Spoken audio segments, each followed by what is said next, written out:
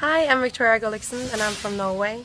I choose to go to Oliva Nova because the winter in Norway is really long and I wanted to go and start the summer season much earlier and get the horses in shape.